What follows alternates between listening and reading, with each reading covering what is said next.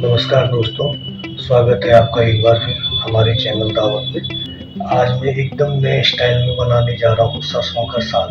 तो चलिए शुरू करते हैं। प्रेशर कुकर में मैं पहले सबसे पहले ये मैंने लगभग 250 ग्राम के आसपास सरसों लिए।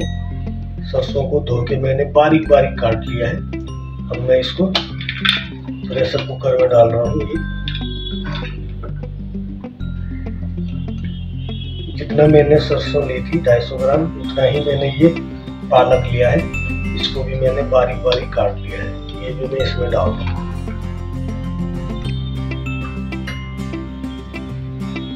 लगभग 100 ग्राम के आसपास मैंने ये मेथी ली है। इसको भी मैंने धो के बारीक काट लिया है। ये भी मैं इसमें डाल रहा हूँ। ये 50 ग्राम के आसपास धनिया है, हरा धनिया। इसको भी मैंने बारीक बारीक काट के इसमें डाल दिया है। एक बार आप इस तरह से बनाना, दोस्तों, सरसों का साग बहुत ही टेस्टी बनता है।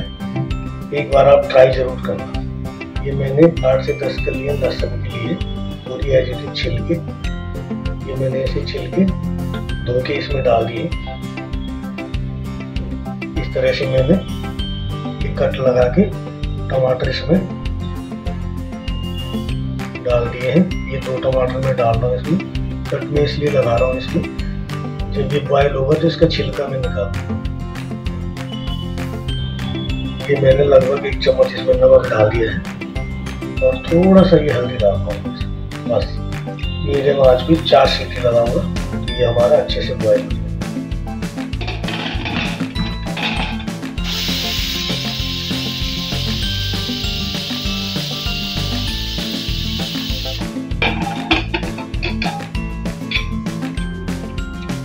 ये अच्छे से बॉयल हो गया है। अब मैं इसमें से ये टमाटर के छिलके निकाल दे रहा हूँ? टमाटर के छिलके मैं इसमें से निकाल दे रहा हूँ। मैंने इसीलिए टमाटर में कट लगा दिए थे। इससे छिलका आसानी से निकल जाता है हमारा, ये देखिए। ये सारे टमाटर के छिलके मैंने निकाल दिए हैं। ये ये गलती नहीं है। इसलिए मैं इनको निकाल दे रहा हूँ। अच्छे से आपने इस तरह से मिला लेना है इसको। इस तरह से मिलाना है।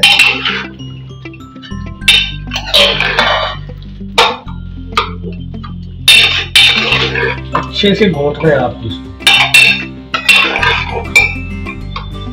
एक बार इस तरह से बना के देखना दोस्तों आप सरसों का साग और फिर मुझे कमेंट करके बताना कि कैसा लगा। बहुत ही टेस्टी बनता है। ये मैंने दो से तीन चम्मच बेसन लिया है, इसका घोल बना लिया है मैंने। ये मैं इसमें डाल रहा हूँ। वैसे इसमें ज़्यादातर लोग मक्के का आटा डालते हैं। लेकिन एक बार आप बेसन का घोल, बेसन डाल के बनाना बहुत ही स्वादिष्ट बनेगा। तो मैंने दो से तीन चम्मच बेसन लिया था। उसको मैंने अच्छे से घोल लिया है और ये मैं इसमें डाल रहा हूँ। अच्छे से मिला देना है। इसको मैं फिर से गैस पे रखूँगा अभी। कम से कम 10 से 20 मिनट 10 से 15 मिनट के लिए। 10 से 15 मिनट के लिए मैं मीडियम आँच में इसको गैस पे रखूँगा। और दूसरे चूल्हे पे मैं इसके तड़के की तैयारी करूँगा। ये मैंने कढ़ाई रख ली है। और मैं इसमें ये सरसों का तेल डाल रहा हूँ। सरसों के तेल में ही बनाना बहुत ही स्वादिष्ट बनता है सरसों के तेल में। सरसों का साग। सरसों का तेल अच्छे से गर्म हो गया है। देखिए धुआँ आने लग गया है इसमें। अब मैंने गैस को कम कर दिया है। मैं इसमें थोड़ा सा हींग डाल रहा हूँ। थोड़ा सा हींग डाल दी मैंने इसमें। और ये मैंने बारीक काट के थोड़ा सा अदरक और लहसुन। और ये एक चम्मच जीरा।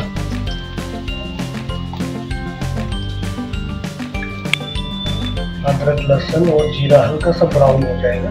फिर मैं इसमें प्याज डालूँगा। ये हल्का सा ब्राउन हो गया देखिए। अदरक, लहसुन और जीरा। अब मैं इसमें एक प्याज डाल दूँगा ज़्यादा नहीं। बारीक चॉप करके मैंने एक प्याज डाल दिया इसमें।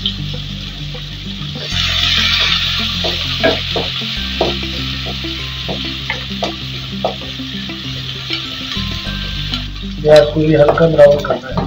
इसमें ज़्यादा पकाना नहीं है प्याज को। हल्का सा कलर आ जाएगा।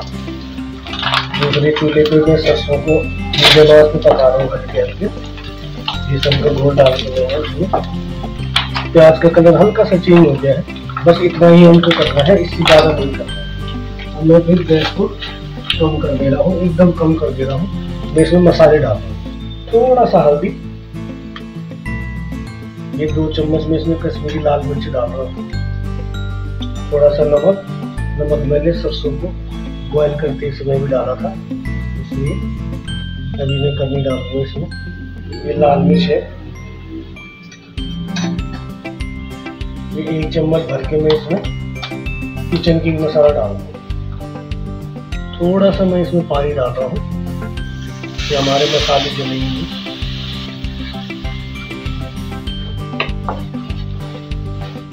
ये एकदम नए स्टाइल में बना रहा हूँ दोस्तों मैं सरसों के साथ। इसलिए मैंने मसाले भी इसमें थोड़ा चेंज कर दिया है। किचन किंग मसाला मैंने डाला है इसमें।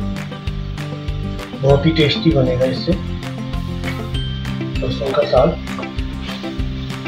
मसाले अच्छे से पक गए हैं। देखिए कितना बढ़िया कलर आया है उसको थोड़ा सा मैं हरी मिर्च डालता हूँ तीन से चार बारीक काट के। और ये धनिया पाउडर डाला है मैंने आप दो चम्मच धनिया पाउडर डाल गैस मैंने मीडियम पे ही रखा है। उसके बाद फिर मैं मसाले का मसाले अच्छे से पक गए हैं।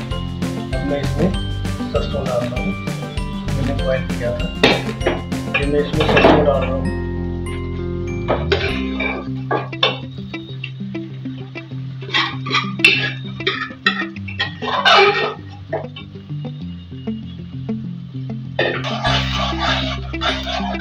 तो अच्छे से मिलाना है कितना बढ़िया कलर आया है इसमें। और इसे कुकर में थोड़ा सा पानी डाल दूँ, वो भी इसमें डाल दिया है।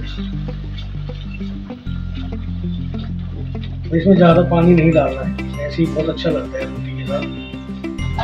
बहुत ही बढ़िया कलर आया है इसमें। बहुत अच्छे से बन गया है। देखिए ज़बरदस्त बना है। तो इसमें थोड़ा सा ये हरा धनिया डाल दिया है मैंने, और ये थोड़ा सा मक्खन।